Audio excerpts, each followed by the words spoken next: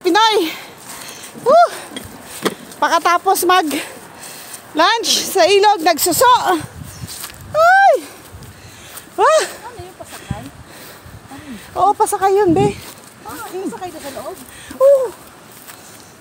Ah, nakara... Amor. Guys, sa laki na resort, pasakayan imo din ha. Ay, hindi. Gamuda pa. Ah, titay, a- anong tinira mo? Valium? ha? Nilamig ako. Uh, Parang siya ang pagdakop naman na agama kayo uho na ni Richard. uh. Pwede din mag-urin na. Grabe din ang urin niya. Saan mo na?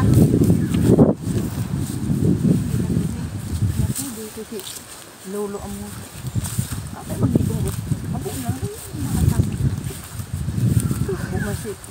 Ganun na magtama na. Pero, na pwede. Kasi kung may deposito ka, di ba? Maamoy. Kaya mali man lang sa tao na deposito ka sa imali yun. Uh. Ano na kasama yun? Hindi mo lang mag-asawa na. Hindi mo naka masimot ka doon.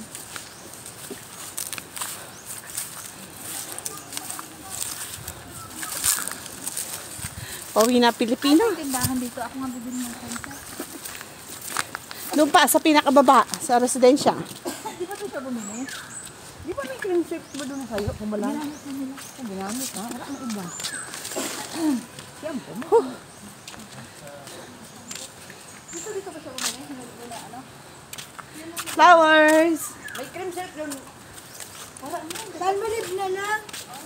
Sino mo yan, ante? Bisa ko. Ah.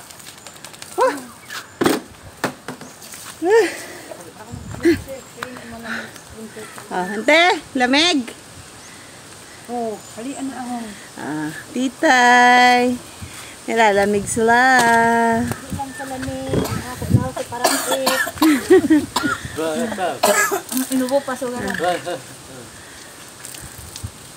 so gano'n. Uh, Hino mo daw, hino mo daw. nagkadaras man.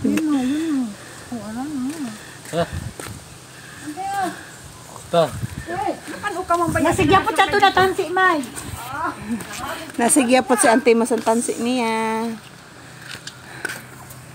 Papa.